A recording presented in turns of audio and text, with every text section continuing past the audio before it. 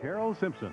Good evening. In Iraq tonight, two agreements have been announced that would protect the Kurdish population and change the entire political character of that country if only Saddam Hussein lives up to them.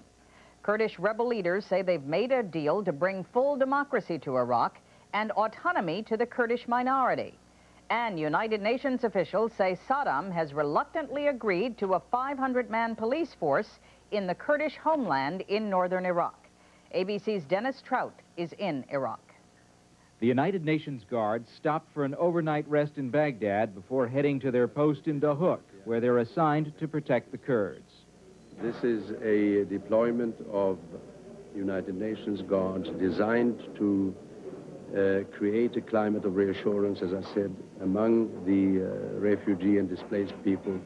Iraqi officials at first had balked at a UN presence in the north, but apparently decided that's better than an indefinite stay by British and American forces.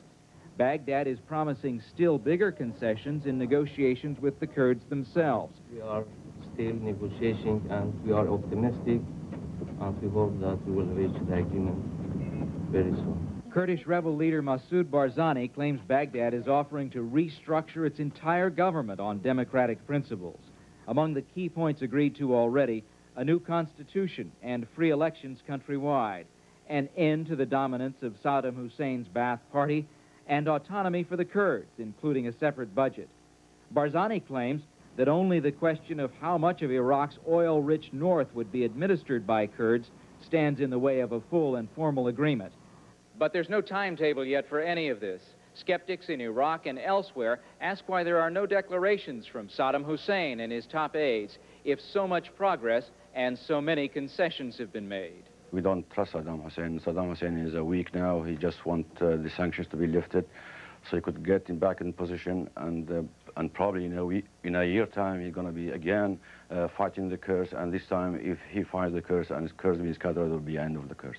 200,000 Kurdish refugees still cling to Turkish mountainsides rather than go back to Iraq. It will take more than promises from Baghdad or the United Nations to convince those who fled that Iraq is now a safe place for them. Dennis Troute, ABC News, Baghdad. Iraqi troops today abandoned some of their checkpoints around Dohuk and withdrew from that northern provincial capital. The hope is that with Saddam's soldiers gone, Kurdish refugees will begin returning to Dohuk in large numbers. The war of words between South Africa's white government and Nelson Mandela's African National Congress escalated today. Mandela's group said it will boycott talks with the government on South Africa's political future. The government denounced the ANC's move as irresponsible. At the heart of the dispute is continuing and escalating black-on-black -black violence. Here's ABC's Don Kladstrup.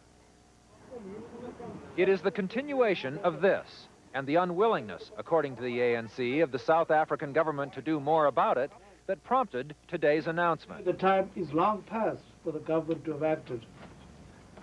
What surprises us sometimes is that there doesn't seem to be the same sense of urgency amongst other sections of the South African population. In this year alone, more than a thousand people have been killed in Black Township fighting. Violence which could spread, warns Nelson Mandela, unless the government takes action soon. As long as it allows this violence to continue, there is a danger that this violence must spread to the white areas. In an ultimatum last month, the ANC demanded the government take stronger action to end the violence. Among the demands, the banning of spears. While the government has banned nearly all other weapons, spears have been excluded because Zulu supporters of the rival Inkatha Freedom Party say they are part of their heritage. Until these so-called cultural weapons are banned, the ANC says it will not discuss constitutional questions with the government, though talks on other matters will continue. Clearly, there is not war between the ANC and the government, but equally clearly, the public perception is growing of a breakdown between them, which could have enormously serious implications. The danger being that by the time both sides are in a position to talk seriously with each other, they will have lost control of the escalating violence. Don Kladstrup, ABC News, Johannesburg. In Seoul, South Korea today, three people set themselves on fire, one of them fatally, as part of a massive nationwide anti-government protest. In all, more than 200,000 people took to the streets. The capital was paralyzed by violent clashes between protesters hurling rocks and firebombs and riot police responding with tear gas. Coming up with banks failing every week, how do you know your money's safe?